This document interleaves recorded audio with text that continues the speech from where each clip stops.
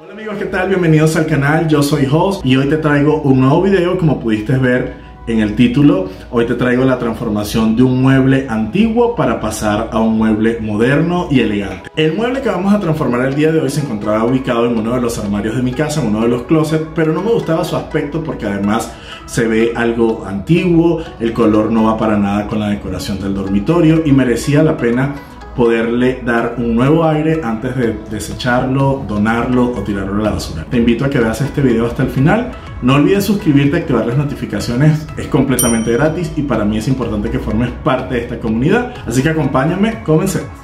Muy bien, lo primero que estuve haciendo fue preparar la superficie antes de proceder a pintarla. Para ello comencé limpiando el mueble con este desengrasante líquido para eliminar cualquier rastro de sucio. Como este mueble no tenía capas de pintura previas, el proceso resultaba más fácil. Pero si tienes un mueble que ya tenga una pintura previa, en ese caso tendrás que ver si esa pintura está en buen estado para poder aplicar una encima. O si ya no admite más capas, ahí sí tendrías que removerla antes de comenzar a pintar.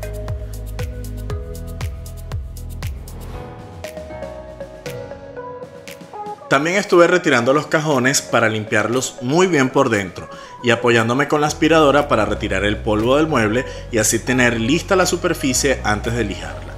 Antes de lijar también estuve retirando las cuatro patas del mueble que en un inicio estuve indeciso si debía cambiarlas o no, pero estas estaban en buen estado.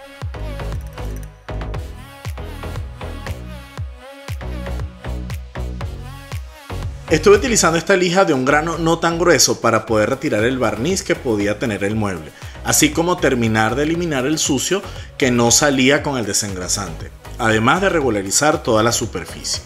Como ven, estuve lijando pero sin retirar por completo la pintura que traía el mueble, ya que no estaría aplicando imprimación y ya van a ver por qué. Además, fíjense que estuve lijando sin necesidad de tener una lijadora profesional, así que no existía ninguna limitante para poder renovar o dar una segunda vida a este tipo de mueble antiguo. Ahora bien, si tú tienes una lijadora profesional, utilízala, te hará más fácil el trabajo.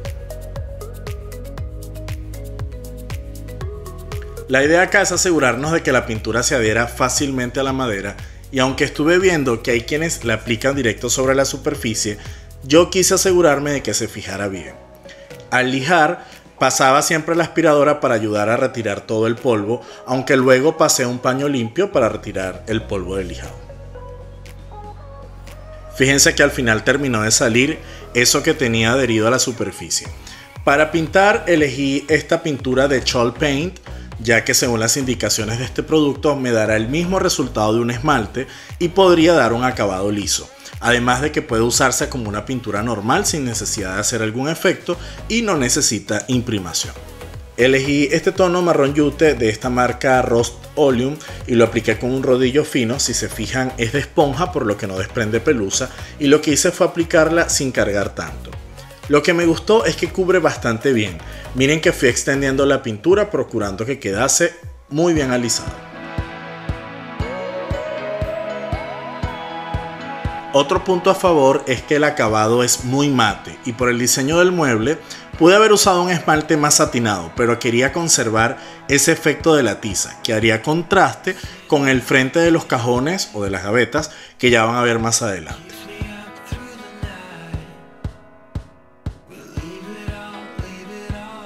El procedimiento es sencillo, solo vas extendiendo la pintura sin necesidad de cargar tanto el rodillo ni pasar tantas veces por un mismo lado. Otro punto a favor es que al menos yo no le percibí olor a esta pintura como otros esmaltes que se utilizan también para pintar muebles. Que si bien pueden tener otros beneficios, a mí me sigue pareciendo esta una muy buena opción. Una vez que apliqué la primera capa, y esto lo comparto como recomendación, me di cuenta que habían algunos huequitos que debía haber resanado antes, pero aún estaba a tiempo, así que utilicé masa flexible para madera y aquí no importa si no es del color de la madera, porque vienen en diferentes tonos, así que como ven pude aplicarlo con el dedo. ¿Y por qué no me importaba el color de la masilla? Porque esto iba a estar cubierto luego por la pintura. Una vez que ya apliqué la masilla, la dejé secar por unos minutos y unos 30 minutos aproximadamente y lijé con una lija fina para regularizar la superficie.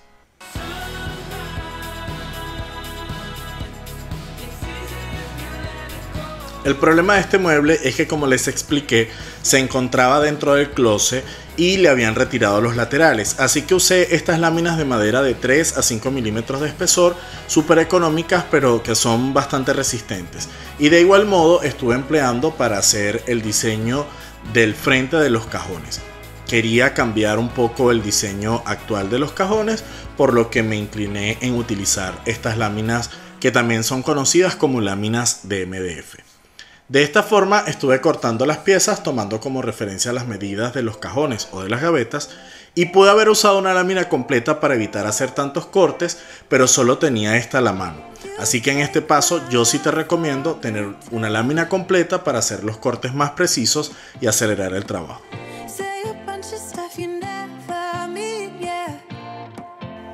Una vez lijados los cortes que hice, estuve pegando las láminas en el frente de los cajones con pegamento de madera. Pero quise asegurarme de que tuviesen la medida perfecta, así que estuve probando antes si quedaban correctamente.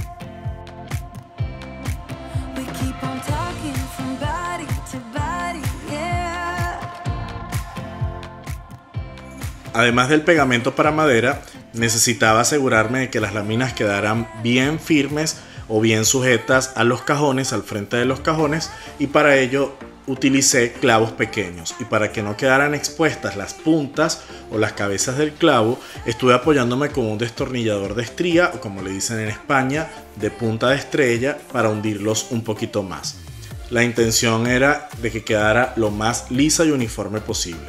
También puedes usar clavos invisibles, claro está, pero yo estuve utilizando estos que ya tenía en casa, así que me tocaba embutirlos un poco y luego taparlo con masilla.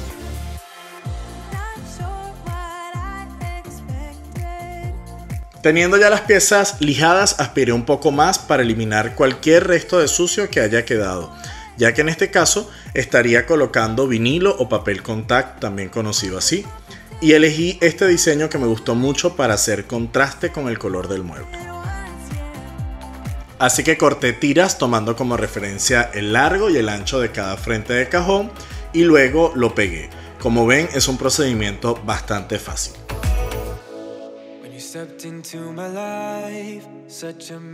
Este vinilo lo adquirí en AliExpress y me gustó mucho este por el diseño geométrico que tiene. Hay muchas opciones. Eh, no sé si se puede apreciar en cámara, el fondo es en blanco y las líneas son doradas. Pude haber pintado el frente de los cajones, pero al final me incliné por el uso del vinilo. Además de que es muy económico y ya va a depender del cuidado y el uso que le des para mantenerlo en el tiempo. Sumado a eso, si al tiempo quiero cambiarlo y darle un nuevo aire a este mueble transformado, solo con cambiar el vinilo sería suficiente.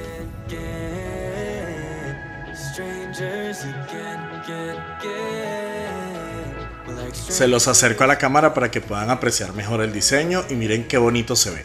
Así estuve haciendo con el resto de los cajones, con los tres cajones eh, del mueble y miren qué fácil es pegarlo, no necesitas ninguna espátula, simplemente apoyarlo y con los dedos vas eh, cubriendo todo el frente del cajón. En caso de que se forme alguna burbuja, pues simplemente lo retiras fácilmente y lo vuelves a pegar cortas las esquinas y de esta manera doblas para que te asegures de que no se vaya a despegar.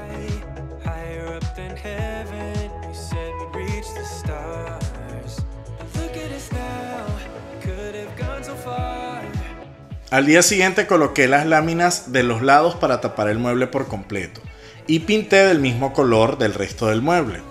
Así que aproveché, ya pintando los laterales, tenía todo el mueble una primera mano de pintura, luego lijé nuevamente la superficie con una lija fina, pero muy leve, y apliqué entonces la segunda mano de pintura.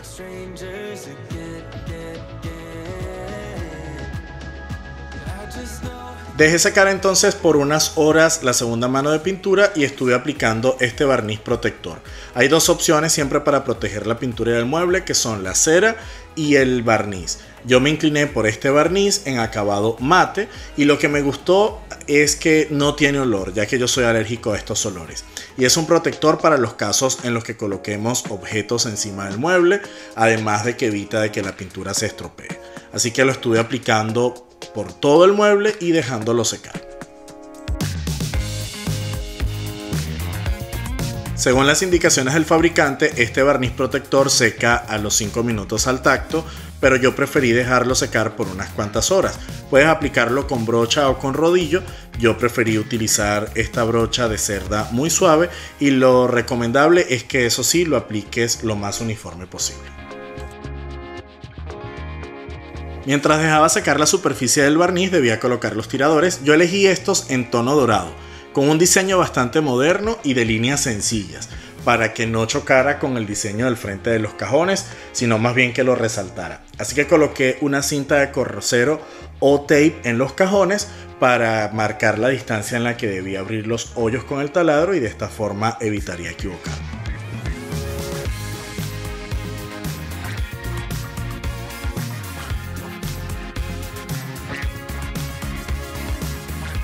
Abiertos los orificios, solo quedaba colocar los tiradores, pero antes debía pintar las patas. Para ello removí las gomas para poder limpiarlas bien. Limpié bien las patas también antes de pintarlas con spray. Asegúrense de que la pintura diga que se puede usar en metal. Yo estuve utilizando esta en dorado para conectarlo con el color de los tiradores. Después de dejar secar por unas horas, coloqué las patas al mueble y luego de colocar las patas, miren el resultado final y comparen el antes y el después de este mueble que transformamos. Déjenme en los comentarios si les gustó y si apoyan el que debemos o podemos dar una segunda oportunidad a nuestros muebles y si son partidarios de reutilizar en sus hogares.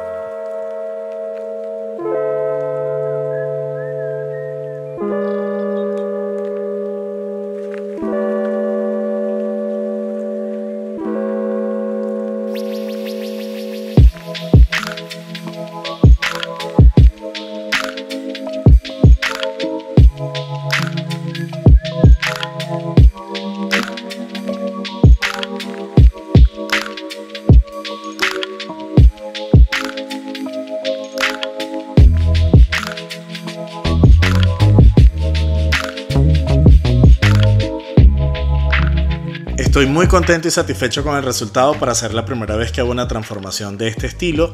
Gracias por haberte quedado hasta el último minuto. No olvides suscribirte, es gratis. Activa la campanita para que sepas cada vez que subo un nuevo video y ayúdame compartiendo este video con otras personas para poder seguir subiendo más videos al canal. No olvides dejarme tu like y tu comentario. Nos vemos en un próximo video. Se les quiere con el corazón. Bye.